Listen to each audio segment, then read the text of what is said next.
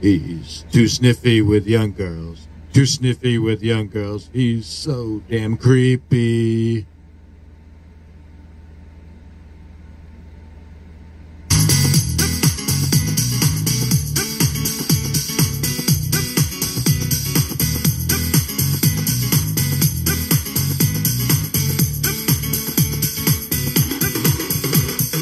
He's too sniffy on his shirts. Too sniffy on his shirts. So sniffy it hurts. And he sniffs girls age 11. Sniffs girls that are age 10, 5, 6, and 7. And he sniffs girls. Sniffs girls.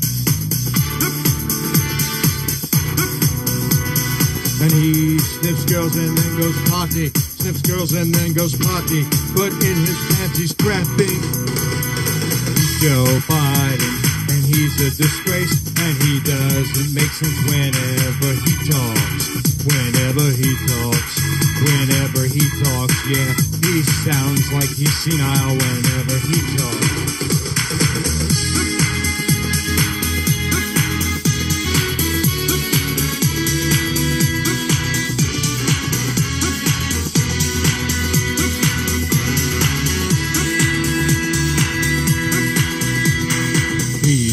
Destroyed America.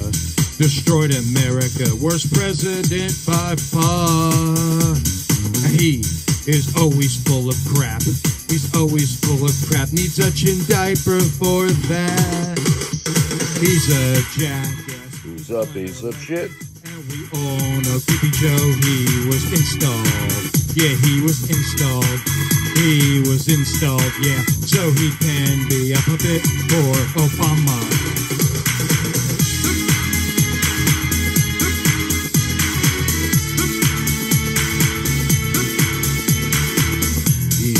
Sniffy with young girls. Too sniffy with young girls. Too sniffy with young girls. Cause he's a pedo who loves sniffing kids And he sounds like he's senile whenever he talks And his VP, Kathleen Kamala, yeah She sucked dick to get to where she is She sucked cock